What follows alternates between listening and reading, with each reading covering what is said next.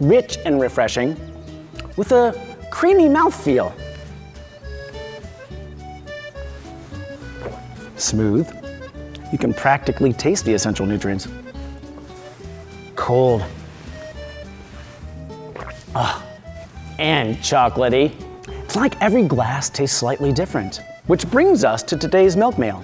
Taylor C. from Lewes, Delaware wants to know Does what a cow eats affect how the milk tastes? Terrific question, Taylor. The frank answer is well, yes.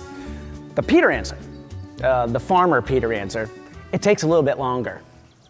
Well, that's a, that's a great question. On different farms in different parts of the country, they eat different things. What I've got here is a total mixed ration. It contains haylage, which is chopped alfalfa. It's got corn silage in it, which is the whole plant, the whole corn plant chopped up.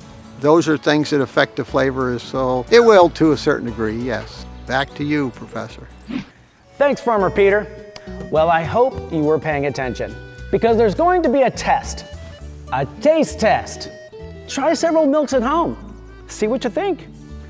Cheers and glass dismissed.